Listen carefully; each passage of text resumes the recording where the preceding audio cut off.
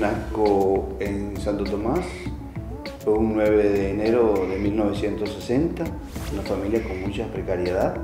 Eh, mi mamá no sabía leer ni escribir, mi papá nunca usó zapatos. Soy el número 10 de, toda una familia.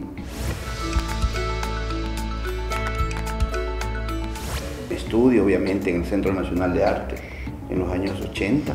Hago mis horas sociales en una guardería que está cerca de la alcaldía de San Salvador. Tuve mis primeras actividades en el Teatro eh, Nacional, mi primera exposición.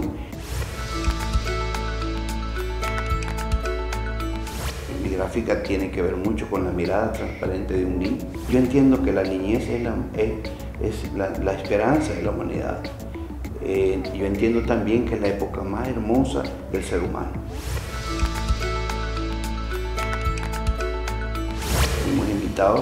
En, el encuentro presidencial en Chile a ser parte de, a representar nuestro país en el tema de educación artística. La asamblea da el reconocimiento, dijo meretísimo por la labor que hacemos.